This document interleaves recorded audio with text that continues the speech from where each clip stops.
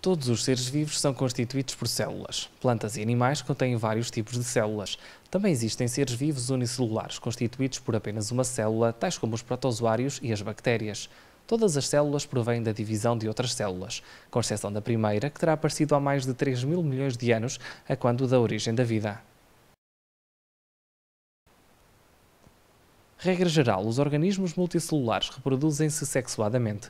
Depois da fecundação de um ócito por um espermatozoide, a nova célula, o zigoto, começa a dividir-se formando um agregado de células idênticas. Durante o desenvolvimento embrionário, as suas células diferenciam-se em vários tipos celulares, dando forma ao embrião através de movimentos morfogenéticos. Um ser humano é constituído por cerca de 200 tipos de células.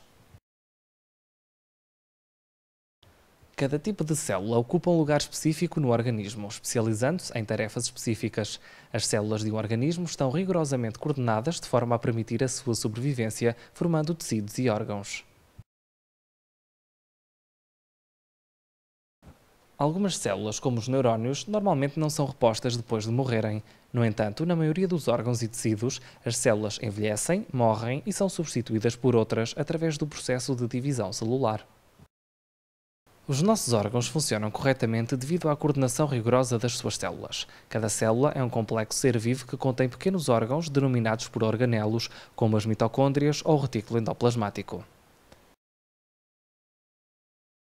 As proteínas são moléculas essenciais para a vida. A maioria são autênticas máquinas microscópicas especializadas em determinadas funções. Algumas proteínas são responsáveis por copiar fragmentos de ADN que contêm informação genética, os genes, sintetizando um outro tipo de molécula, o ARN. Os ribossomas, compostos por proteínas e ARN, traduzem a informação do ARN para pequenas moléculas proteicas, os aminoácidos, que por sua vez desempenham funções específicas. A informação genética, organizada numa sequência de letras específicas, os nucleótidos, pode ser alterada quando essas letras são alteradas, produzindo uma mutação. Uma alteração no nucleótido pode alterar o aminoácido da nova proteína, alterando a sua função e eventualmente dando origem a patologias de origem genética, como o cancro. O cancro surge com a divisão incontrolada de um determinado tipo de célula, o que irá produzir um tumor. No caso dos tumores malignos, algumas das suas células podem separar-se da origem e viajar através do sangue para outras regiões do corpo. Apesar de muitas destas células morrerem, algumas conseguem fixar-se noutros tecidos, formando novos tumores. Este processo é conhecido por metastização. Um dos métodos atuais de combate ao cancro consiste na identificação de substâncias que seletivamente eliminem células tumorais, avaliando milhares ou mesmo milhões de compostos candidatos com sistemas robóticos. O efeito destes compostos químicos em células pode ser estudado utilizando microscopia óptica multidimensional, para efetuar este tipo de estudos, são utilizados sistemas automáticos de microscopia que nos permitem observar a resposta de células tumorais in vitro a diferentes tratamentos ao longo do tempo através da aquisição de imagens em intervalos de tempo bem definidos. A observação de diferentes organelos celulares marcados com sondas fluorescentes de diferentes cores permite-nos observar o tipo de resposta das células a um novo composto químico.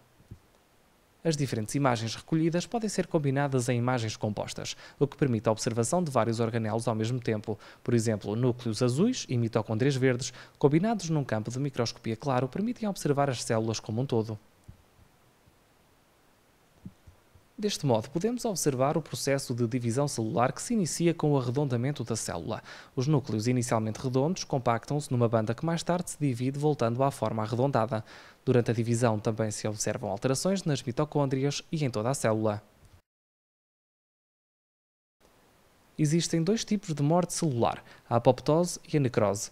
A apoptose é o tipo de morte fisiológica na qual a célula atrofia, a superfície modifica-se e o seu núcleo condensa e ou fragmenta. As mitocôndrias, que normalmente apresentam uma forma alongada, partem-se em pequenas esferas, o que pode ser observado nesta célula multinucleada. Durante a necrose, que normalmente ocorre devido à atividade física intensa ou a efeitos químicos, a célula não encolhe ou fragmenta. Antes, o conteúdo celular é libertado, fenómeno este que pode ser identificado por bolhas que surgem em torno da célula.